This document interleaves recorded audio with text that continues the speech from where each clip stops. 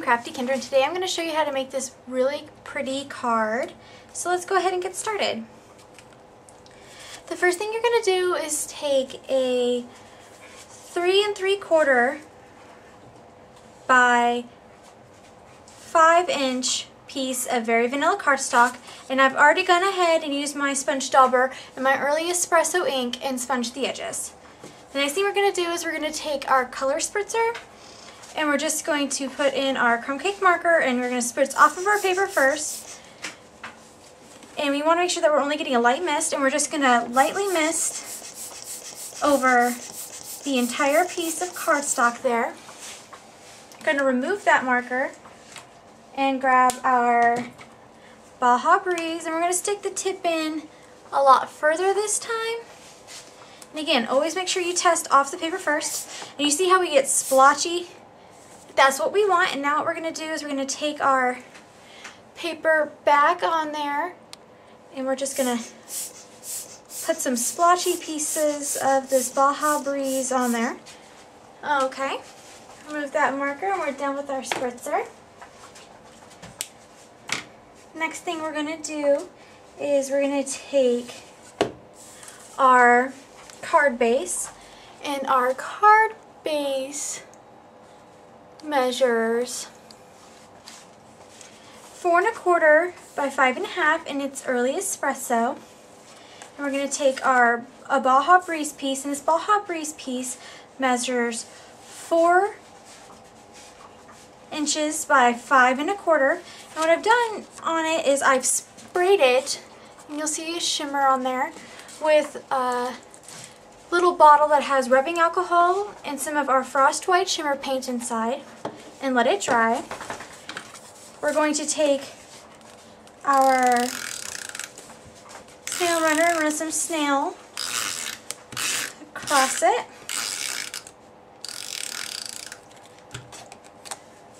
And center it on the front of our card.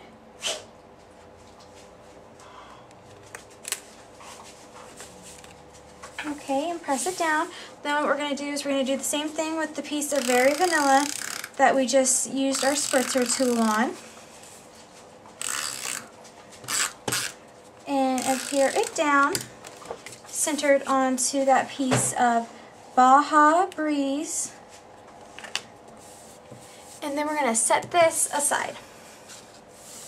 Next thing we're going to do is take a scrap piece of Very Vanilla cardstock and using stamps from the I Heart Stamps stamp set, we're going to take the filigree heart stamp and the polka dot heart stamp on our clear block. We're going to take our Baja Breeze and our crumb cake marker again, and using the brush side, I'm going to color over the polka dot heart with my crumb cake marker. Okay. And then I'm going to take the brush side of my Baja Breeze marker and color in the filigree heart.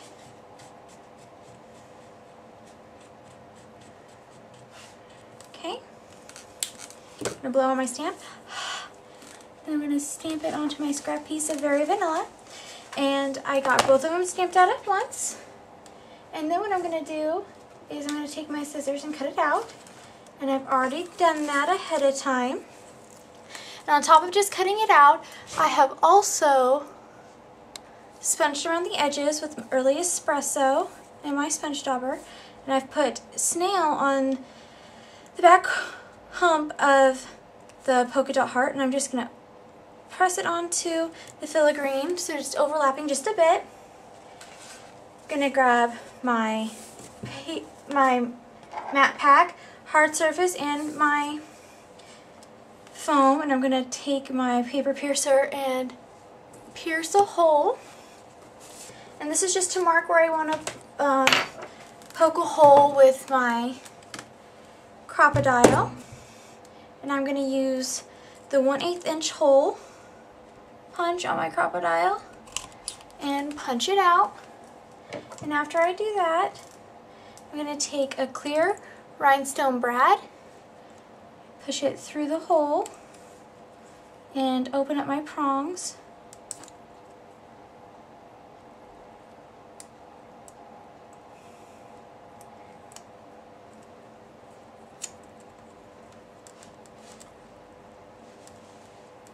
making sure that when I open them up and I push them flat that they aren't going to be showing on the outside.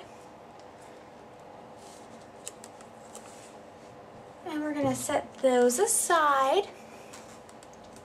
Next thing we're going to do is we're going to take about a 3 inch piece of very vanilla satin ribbon and about a 3 inch piece of early espresso grosgrain ribbon. And I've already put two pieces of sticky strip on either side of the grosgrain ribbon and on the back side of the very vanilla satin. What we're going to do is we're going to take the backing off one side of the early espresso piece. We're going to line it up on the top side, centering it from either side of the very vanilla and pressing down. Then what we're going to do is take the sticky strip off the back of the very vanilla satin ribbon and using our index finger we're going to make a loop of just the satin ribbon lining it up and pressing down. I'm going to take the back off of the other side of the grosgrain. Then what we're going to do is we're going to press down our satin ribbon and take our grosgrain and make sure that it's still centered, pressing it down on top. So that way we get a nice double loop. And we're going to go ahead and take a piece of sticky strip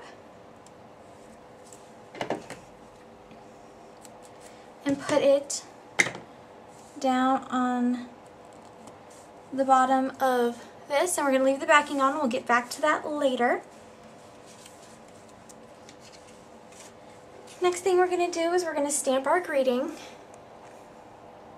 And our greeting comes from the Occasional Quotes stamp set, and this is a hostess set. It's a level 3.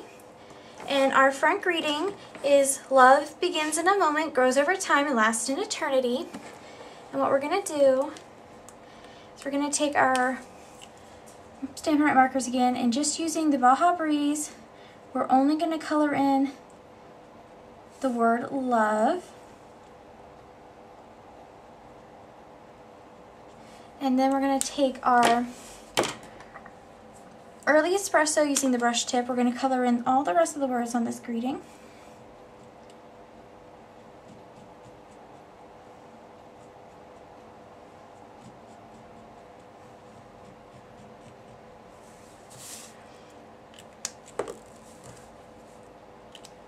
And we're going to stamp that onto a 3 and 3 eighths by one and a quarter piece of Very Vanilla cardstock, and I have a piece of snail on my grid mat to hold this in place while I use my Stamp-A-Majig. And this is a piece of vellum cardstock, and I've already stamped my greeting on there.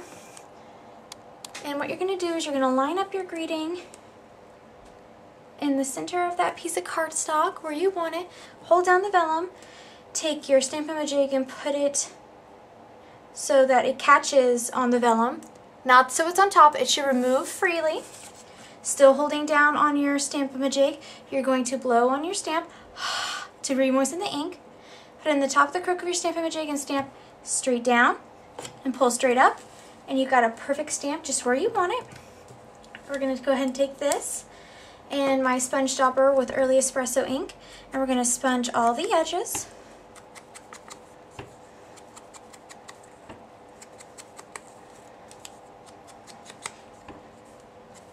Done sponging all these edges, we are going to layer it on to a piece of early espresso cardstock and this piece measures three and a half by one and a half inches. I'm gonna put some snail on the back of this greeting.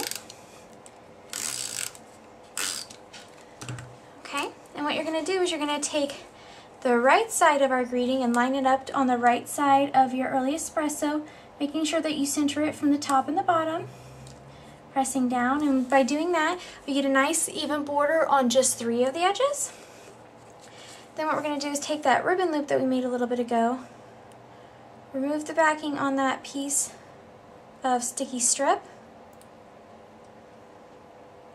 And then we're going to place it on the back, showing as much as the ribbon loop as we want, centering it and pressing down.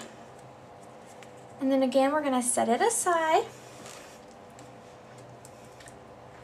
We're gonna go ahead and grab another piece of very vanilla cardstock, and this piece measures five and a quarter, five and a quarter by four inches, and I've already sponged the sides with Early Espresso ink. We're going to take another greeting from that same stamp set, and this time, using our Stampin' Majig, we're only going to color in the congratulations. And we're going to do that with our Early Espresso marker.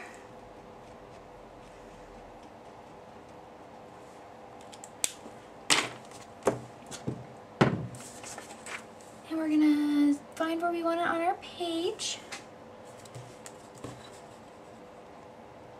Again, lining up our Stampin' Maje so that it catches on the piece of vellum. Remove the vellum, blow on your stamp.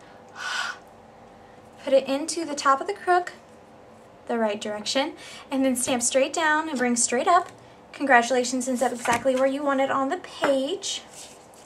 Then what we're going to do is we're going to add some snail to the back of this piece grab our card base again, open it up, and center this on the inside.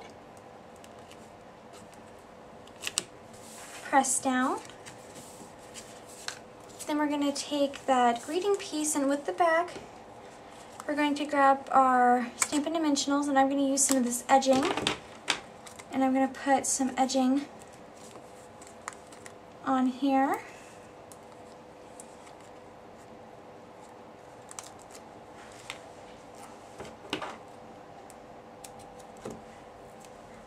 Making sure that you don't put it on the ribbon because the ribbon is a little bit thicker than the rest of the cardstock and that will throw it off. You're going to remove the dimensional backing from this piece.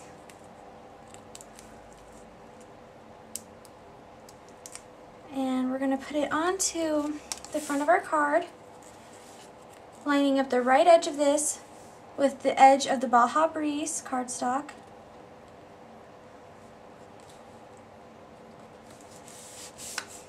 And then taking our two hearts that we have and putting some dimensionals on them, we are going to remove the backing.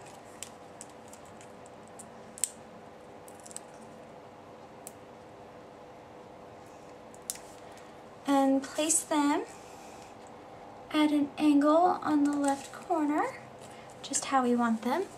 And that's how fast and easy this card goes together. I hope you guys enjoyed this and I'll talk to you next time.